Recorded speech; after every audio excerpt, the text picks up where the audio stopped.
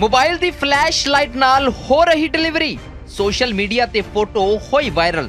ਤਾਂ ਦੱਸਦੇ ਕਿ ਸੋਸ਼ਲ ਮੀਡੀਆ ਤੇ ਫੋਟੋ ਬੜੀ ਤੇਜ਼ੀ ਦੇ ਨਾਲ ਵਾਇਰਲ ਹੋ ਰਹੀ ਹੈ, ਜਿਸ ਦੇ ਵਿੱਚ ਮੋਬਾਈਲ ਦੀ ਫਲੈਸ਼ ਲਾਈਟ ਦੇ ਨਾਲ ਮਹਿਲਾ ਦੀ ਡਿਲੀਵਰੀ ਕੀਤੀ ਜਾ ਰਹੀ ਹੈ। ਤਾਂ ਵੇਖ ਸਕਦੇ ਹੋ ਕਿ ਤਸਵੀਰਾਂ ਦੇ ਵਿੱਚ ਕਈ ਡਾਕਟਰ ਖੜੇ ਨੇ, ਜਿਨ੍ਹਾਂ ਦੇ ਵੱਲੋਂ ਡਿਲੀਵਰੀ ਕੀਤੀ ਜਾ ਰਹੀ ਹੈ, ਜਦਕਿ ਦੋ ਸ਼ਖਸ ਅਜਿਹੇ ਵੀ ਨੇ, ਜਿਨ੍ਹਾਂ ਦੇ ਵੱਲੋਂ ਮੋਬਾਈਲ ਦੀ ਟਾਰਚ ਲਗਾਈ ਜਾ ਰਹੀ ਹੈ। ਤਾਂ ਦੱਸ ਦਈਏ ਕਿ ਇੱਥੇ ਬਿਜਲੀ ਦਾ ਕੱਟ ਲੱਗ ਗਿਆ ਸੀ, ਜਿਸ ਤੋਂ ਬਾਅਦ ਫਲੈਸ਼ ਲਾਈਟ ਦੇ ਨਾਲ ਡਿਲੀਵਰੀ ਕੀਤੀ ਗਈ। ਤਾਂ ਇਹ ਵੇਖ ਕੇ ਲੋਕ ਗੁੱਸੇ ਦੇ ਵਿੱਚ ਆ ਜਾਂਦੇ ਨੇ ਤੇ ਉਹਨਾਂ ਦੇ ਵੱਲੋਂ ਜੰਮ ਕੇ ਹੰਗਾਮਾ ਕੀਤਾ ਜਾਂਦਾ ਹੈ। ਤਾਂ ਦੱਸ ਦਈਏ ਕਿ ਤਸਵੀਰਾਂ ਪਟਿਆਲਾ ਦੇ ਰਜਿੰਦਰਾ ਹਸਪਤਾਲ ਤੋਂ ਸਾਹਮਣੇ ਆਈਆਂ ਨੇ, ਜਿੱਥੇ ਡਿਲੀਵਰੀ ਦੌਰਾਨ ਲਾਈਟ ਚਲੀ ਗਈ ਸੀ ਤੇ ਲਾਈਟ ਦਾ ਕੱਟ ਲੱਗਿਆ ਹੋਇਆ ਸੀ। ਤਾਂ ਐਮਰਜੈਂਸੀ ਕਰਕੇ ਮੋਬਾਈਲ ਦੀ ਫਲੈਸ਼ ਲਾਈਟ ਨਾਲ ਹੀ ਮਹਿਲਾ ਦੀ ਡਿਲੀਵਰੀ ਕੀਤੀ ਗਈ। ਤਾਂ ਗਾਇਨੀ ਵਿਭਾਗ ਦੀ ਇਹ ਫੋਟੋ ਦੱਸੀ ਜਾ ਰਹੀ ਹੈ। ਤਾਂ ਇਸ ਸੰਬੰਧੀ ਹੁਣ ਹਸਪਤਾਲ ਪ੍ਰਸ਼ਾਸਨ ਦੇ ਵੱਲੋਂ ਜਾਂਚ ਕੀਤੀ ਜਾ ਰਹੀ ਹੈ। ਤਾਂ ਜਿਵੇਂ ਹੀ ਇਹ ਮਾਮਲਾ ਸਿਹਤ ਮੰਤਰੀ ਬਲਵੀਰ ਸਿੰਘ ਦੇ ਧਿਆਨ ਦੇ ਵਿੱਚ ਆਉਂਦਾ ਹੈ, ਤਾਂ ਉਹ ਮੌਕੇ ਤੇ ਹਸਪਤਾਲ ਪਹੁੰਚਦੇ ਨੇ ਤੇ ਹਸਪਤਾਲ ਪ੍ਰਸ਼ਾਸਨ ਦੇ ਅਧਿਕਾਰੀਆਂ ਦੇ ਨਾਲ ਮੀਟਿੰਗ ਕਰਦੇ ਨੇ। ਤਾਂ ਦੱਸ ਕਿ ਪੂਰੇ ਮਾਲਵਾ ਖੇਤਰ ਦਾ ਸਭ ਤੋਂ ਵੱਡਾ ਸਰਕਾਰੀ ਹਸਪਤਾਲ ਹੈ ਤੇ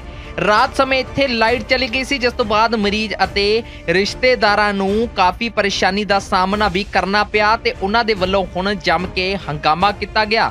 ਤਾਂ ਸੋਸ਼ਲ ਮੀਡੀਆ ਤੇ ਫੋਟੋ ਵਾਇਰਲ ਹੋ ਰਹੀ ਸੀ, ਜਿਸ ਦੇ ਵਿੱਚ ਦੇਖ ਸਕਦੇ ਹੋ ਕਿ ਮੋਬਾਈਲ ਦੀ ਫਲੈਸ਼ ਲਾਈਟ ਦੇ ਨਾਲ ਮਹਿਲਾ ਦੀ ਡਿਲੀਵਰੀ ਕੀਤੀ ਜਾ ਰਹੀ ਸੀ। ਤਾਂ ਗੁੱਸੇ ਦੇ ਵਿੱਚ ਆ ਕੇ ਲੋਕਾਂ ਦੇ ਵੱਲੋਂ ਜੰਮ ਕੇ ਪ੍ਰਦਰਸ਼ਨ ਕੀਤਾ ਗਿਆ। ਮੋਬਾਈਲ ਦੀ ਫਲੈਸ਼ ਲਾਈਟ ਨਾਲ ਹੋ ਰਹੀ ਡਿਲੀਵਰੀ। ਸੋਸ਼ਲ ਮੀਡੀਆ ਤੇ ਫੋਟੋ ਹੋਈ ਵਾਇਰਲ।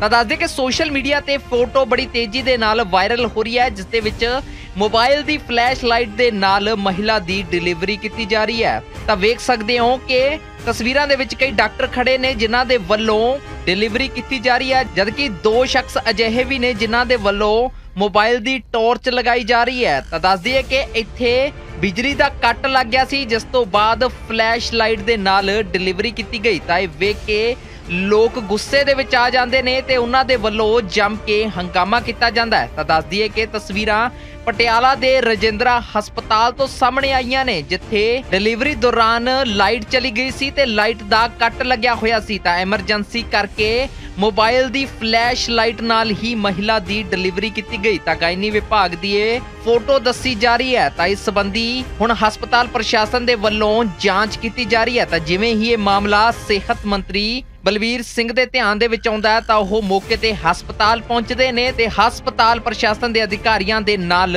ਮੀਟਿੰਗ ਕਰਦੇ ਨੇ। ਤਾਂ ਦੱਸ ਕਿ ਪੂਰੇ ਮਾਲਵਾ ਖੇਤਰ ਦਾ ਸਭ ਤੋਂ ਵੱਡਾ ਸਰਕਾਰੀ ਹਸਪਤਾਲ ਹੈ ਤੇ ਰਾਤ ਸਮੇਂ ਇੱਥੇ ਲਾਈਟ ਚਲੀ ਗਈ ਸੀ, ਜਿਸ ਤੋਂ ਬਾਅਦ ਮਰੀਜ਼ ਅਤੇ ਰਿਸ਼ਤੇਦਾਰਾਂ ਨੂੰ ਕਾਫੀ ਪਰੇਸ਼ਾਨੀ ਦਾ ਸਾਹਮਣਾ ਵੀ ਕਰਨਾ ਪਿਆ ਤੇ ਉਹਨਾਂ ਦੇ ਵੱਲੋਂ ਹੁਣ ਜੰਮ ਕੇ ਹੰਗਾਮਾ ਕੀਤਾ ਗਿਆ।